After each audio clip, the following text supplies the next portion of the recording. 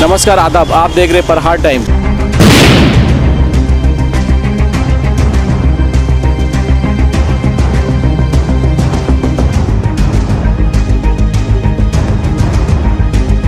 کس طریقے کا آپ نے کالی پٹی باندھ کے یہاں پہ احتجاج کیا؟ ہے ہم لوگوں نے ممرا کوسا کی عوام نے دارالفلاح مسجد کے باہر سبھی مفتی مولانا صاحب ممرا کوسا کے لوگوں، عوام کے ساتھ مل کے دعا کی اور بلیک پٹی باندھ کے احتجاج کیا، پلے کارڈ لے کے کھڑے رہے۔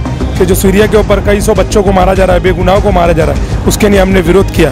اور ہم ساتھی میں ایک میمورینڈم میمورینڈم دینے والے پردھان منتری کو اور راشٹرپتی کو اور چیف منسٹر کو کہ ہندوستان گورنمنٹ جو انسانیت کا قتل ہو رہا ہے انسانیت کے انسانیت کے قتل پہ خاموش ہے دنیا۔ ہندوستان گورنمنٹ اپنا ورودھ جتائے اور وہاں پہ دخل دے کہ جو جو بچوں کو، مظلوموں کو مارا جا رہا ہے، آئی ایس آئی کے نام پہ بے گناہ کو مارا جا رہا ہے۔ بچوں کو مارا جا رہا ہے۔ اس کے لیے ہندوستان گورنمنٹ اتنا ورودھ دکھائے۔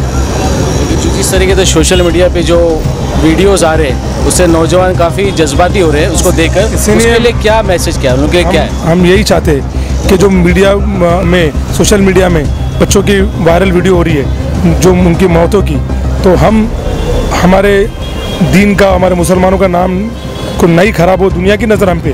ہم صرف اللہ سے اپنی دعا مانگے اور آپ کو احتجاج کرنا ہے تو اپنا بلیک پٹی بان کے پلے کارڈ لے کے دنیا کے سامنے احتجاج کیجیے گورنمنٹ کو لیٹر دیجیے زیادہ سے زیادہ کہ ہمارا یہ آپ اور ہندوستان گورنمنٹ انسانیت کو جو قتل ہو رہا ہے، اس کو روکے۔ جو ظالمانہ کاروائی ہوگی، رشیا کی ایما کے اوپر کی جائے، رشیا کے اشاروں پہ کی جا رہی ہے۔ اور اس کی تو پوری عالمی دنیا جو ہے وہ اس وقت جو ہے وہ پورا عالم اسلام کے ساتھ ساتھ تمام لوگ اس کی مذمت کرتے ہیں۔ ہم جو اقتدار کے لیے، جو زمین کے قبضے کے لیے اپنی حکومت کے لیے جو معصوموں کو قتل کر رہے ہیں، ہم سب اس کے خلاف اللہ رب العزت سے رجوع ہے حضرت مولانا کی دعا ہوئی، اس میں ہم لوگوں نے دعا اللہ سے فریاد کیے۔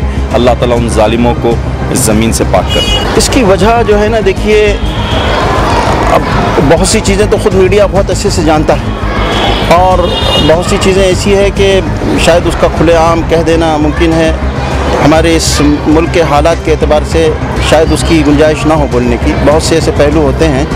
کہا کہ سوال کرنے والے سے زیادہ سوال جس سے کیا جا رہا ہے، سوال کرنے والا ان حالات کو خوب جانتا ہے۔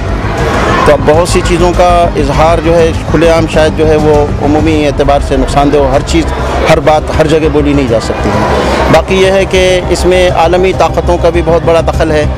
عالمی طاقتوں کے طاقت کا جو توازن بگڑا ہے، اس کا بھی اس میں دخل ہے۔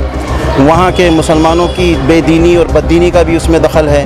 ہم ہم ہم مسلمان ہیں۔ ہم تو حالات کو صرف خالص سیکولر اور دنیاوی چشمے لگا کر نہیں دیکھتے، ہم تو دینی چشمہ لگا کر دیکھیں گے۔